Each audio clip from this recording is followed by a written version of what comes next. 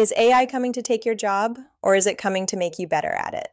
There's a massive difference between those two ideas, and new research from MIT is finally drawing a line in the sand. They're making the case for what they call human centered AI. See, right now, most companies are obsessed with automation, using AI to replace people to cut costs. But MIT argues that's actually a losing strategy. The real value isn't in replacing humans, it's in augmentation. The research suggests that AI should be used to amplify the skills that are uniquely yours, things like empathy, complex judgment, and genuine creativity. They actually found that when you try to replace these human skills with bots, you often get a hollowed out result.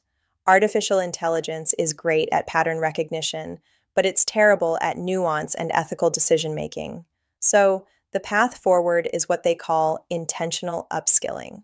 This doesn't just mean learning how to prompt a chatbot, it means rethinking your entire workflow so that AI handles the grunt work the data processing, the scheduling, the rote tasks, specifically to free you up to double down on the human stuff. The argument is simple the future isn't human versus machine, it's human plus machine.